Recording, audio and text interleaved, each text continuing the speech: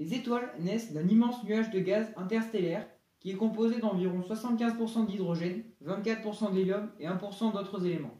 Pour que l'étoile puisse naître, une partie de ce nuage de gaz doit s'effondrer. Pour s'effondrer, le nuage de gaz a besoin de respecter une certaine masse et un certain rayon. Ces deux conditions sont appelées conditions de Jeans.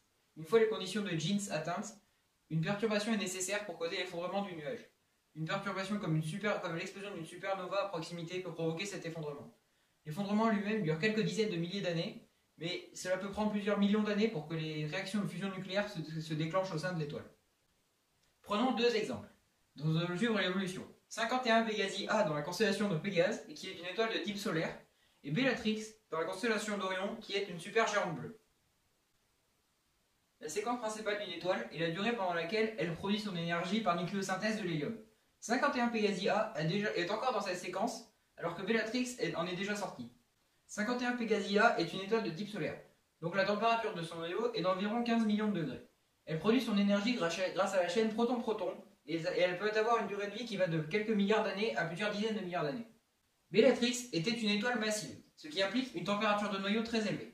Elle consommait son hydrogène grâce au cycle carbone-azote-oxygène, aussi appelé cycle CNO, du symbole respectif de ces trois atomes, carbone C, azote N et oxygène O.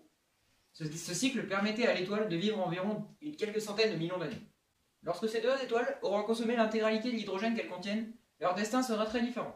51 Pégasi A fera fusionner l'hélium qu'elle a produit pendant sa séquence principale en noyau de carbone et d'oxygène.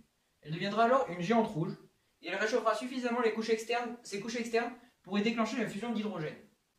Une fois que l'étoile aura consommé l'intégralité de l'hélium qu'elle contient, le noyau dégagera tellement d'énergie qu'il soufflera les couches externes de l'étoile.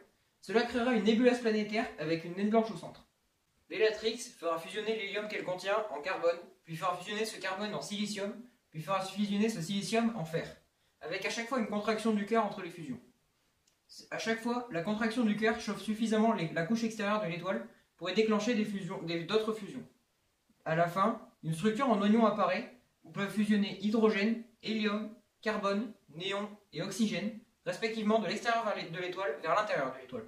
Lorsque le cœur de Bellatrix contiendra trop de fer, la pression exercée par la fusion des noyaux atomiques ne sera plus suffisante pour contrer la force de gravitation et les couches externes de l'étoile s'effondreront sur son cœur.